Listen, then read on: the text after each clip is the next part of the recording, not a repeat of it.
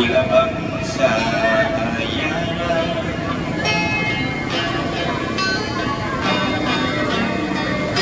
Bilising ka maasa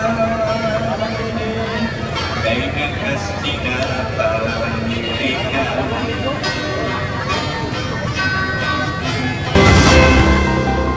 Sir, ah, nangyari po sir itong pandemic na nagkaroon po ng magandang reconciliation process ang ating mga MNLF.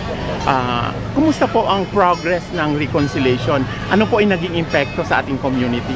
Alhamdulillah, uh, in the interest of uh, giving prosperity and development to our people, to our members, as a member of the Moro National Liberation Front, we have to unite ourselves in uh, the recent uh, political development of uh, the Bangsamoro. And therefore, we need to uh, uh, tutuparin natin yung uh, we are from them, but as their vanguard, and therefore, uh, it is the claymore of everybody to be uh, united as one.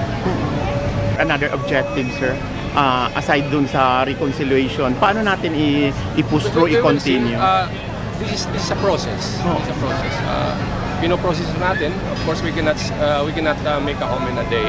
Mhm. Uh, ma- mahaba-haba pa rin itong ginagawa natin. Mhm. Pero at the end of the day, the, the end goal is uh, to unite uh, politically our organizations in the interest of our people.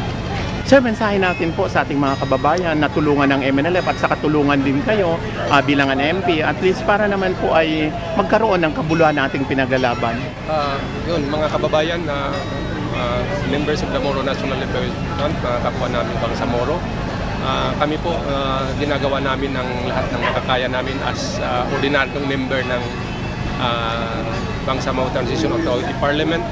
Uh, although hindi po kami yung nasa driver's seat ng ano ng government of, as member government of the day pero tumutulong tayo para mapabilis mapalawak pa ang implementasyon ng moral governance ng Bangsamoro.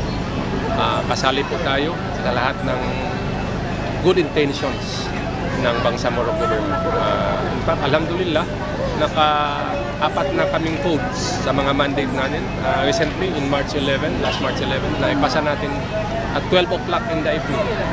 Ah, hindi yun paspas na farcical, whatever.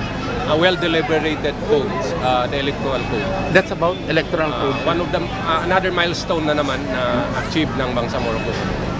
So yun po, uh, lahat ng ito ay para ma-stabilize ang gobyernong Bangsamoro uh, para hindi sabihin nila na yun uh, mature, uh, hindi siya democratic. Uh, we are going to that, inshallah.